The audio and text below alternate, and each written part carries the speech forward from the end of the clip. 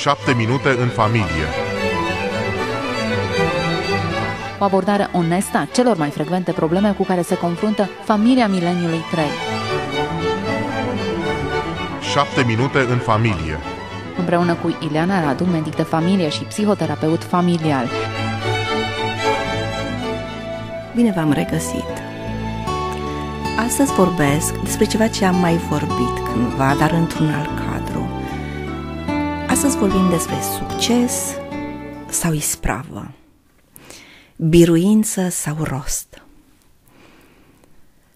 Și gândurile acestea mi-au fost inspirate de uh, o poveste pe care am auzit-o eu, de fapt, să știți că aud multe povești. În cabinetul meu de psihoterapie și în cabinetul meu de medicină mă întâlnesc și sunt foarte privilegiată că mă pot întâlni cu viețile oamenilor în diverse capitole ale vieților, în diverse instanțe ale vieților și găsesc și prin asta că meseria mea este absolut fascinantă pentru că am parte de un spectacol al vieții pentru că am parte de niște întâlniri cu totul și cu totul semnificative și sunt foarte recunoscătoare lui Dumnezeu pentru că face parte de ele. O poveste pe care am auzit-o de dată recentă ține de ceea ce noi românii avem așa de mult și mai ales acum educația este sub uh, faruri și toți ne plângem de ce se întâmplă în sistemul educațional. Uh, toți știm, mai ales cei care aveți copii mai mici decât copiii mei, olimpiadele sunt la ordinea zilei, concursurile la ordinea zilei. Și o întâmplare dintr-o olimpiadă de muzică în care un uh, copil extrem de talentat și de sârguincios, de fapt, un artist în devenire și un artist de a cărui nume se va auzi și la concertele căruia o să vrem să avem bilete în următorii ani. Acest copil extrem de talentat, dar ca toți artiștii făcut dintr-un anume aluat, pentru că artiștii sunt făcuți dintr-un anume aluat, sensibilitatea lor, uh, darul de a simți și de a gândi într-un anume fel, uh, diferența pe care ei o fac de fapt în lumea noastră, vine la pachet și vine împreună uh, și cu alte caracteristici care îți pot juca uneori feste și te pot pune în situații foarte nefericite.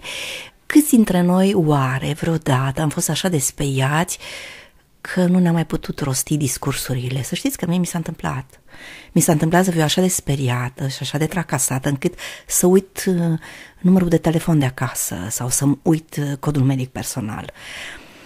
Și am o minte cât se poate de bună, dar mi s-au întâmplat lucrurile astea în situații de extremă tensiune, în situații de extrem stres. Poți să ai acest tip de blocaje care sunt cât se poate de naturale.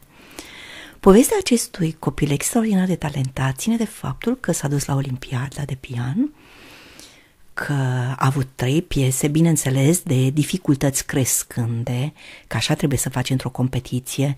Încep cu ceva mai ușor, demonstrezi, după aceea vine ceva mai greu, demonstrezi din nou, după aceea vine ceva magistral de greu și demonstrezi din nou și atunci aplauzele sunt bine meritate și cu una este a ta. E un anume tipar al concursurilor.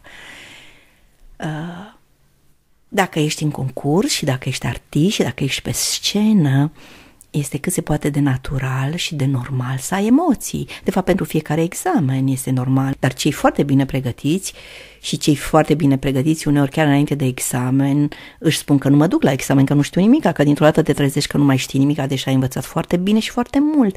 Sunt din nou emoții cât se poate de legitime și de naturale. E legitim și natural să ai aceste fenomene de blocaj. Prima piesă a mers cât se poate de bine, chiar era relativ ușoară și și-a încălzit mâinile. A doua piesă a început să meargă cu poticneli, pentru că era de dificultate mai mare și când te-ai poticnit prima dată, inevitabil te poticne și a doua oară, pentru că un insucces atrage alt insucces și dacă o dai în bar odată, inevitabil o mai dai în bară și a doua oară, sunt niște legi. A treia piesă, care era de o dificultate mai mare, i-a pus probleme și mai mari și pe decursul unei piese extrem de dificile s-a oprit de patru ori. Să te oprești de patru ori într-un concurs este uh, dezastruos, nu? Ce a fost în schimb triumfător? S-a oprit de patru ori și nu s-a ridicat de pe scaun până când n-a dus piesa la capăt. A reluat de acolo de unde s-a poticnit de patru ori. Găsesc că este magistral. Și găsesc că un clișeu ca și acesta vorbește despre destinul unui mare artist în devenire care dincolo de succesul sau insuccesul unei olimpiade la pian, de fapt a făcut o ispravă foarte mare și a demonstrat ceva ce este esențial în devenirea unui artist și nu numai a unui artist, pentru că eu acum vorbesc de o olimpiadă de pian, ci aș generaliza, sper, fără uh, ușurătate. Când stai până la capăt când duci la bun sfârșit ce încep. Mi se pare că te înscrii într-o definiție de psalmi. Și acolo este isprava, iar succesul este pur și simplu un cuvânt prea mic pentru o ispravă așa de mare.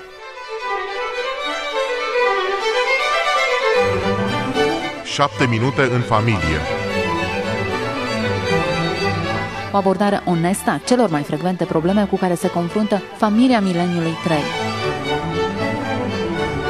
7 minute în familie.